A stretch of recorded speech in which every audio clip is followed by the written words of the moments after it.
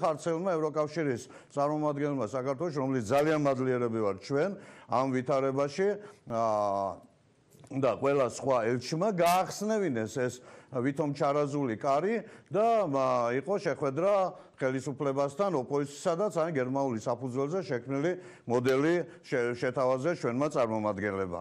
ძალიან მადლიერი ვარ სახალხო დამცველის რომლის ხელშეწყობი და თაოსნობით ოდირში იგზავნება ეუთოში იგზავნება ეს მოდელი.